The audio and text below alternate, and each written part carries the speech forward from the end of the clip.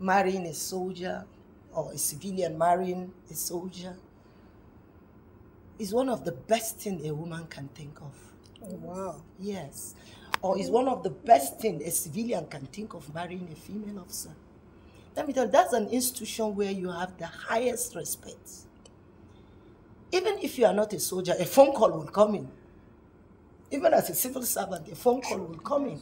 True. So if you have made up your mind to marry a soldier, go in with mm-hmm. all totality. Yes, there are prunes of it. But these same prunes are everywhere, mm-hmm. in every job. So I tell women, allow yourself to this opportunity. Yes, the man is in the front line. Try to give the society a safe environment. Likewise, yourself back home. But let me tell you, with that hardship, thank God for the wall of GSM. When we were in Sierra Leone, there was nothing like that. But this time you call.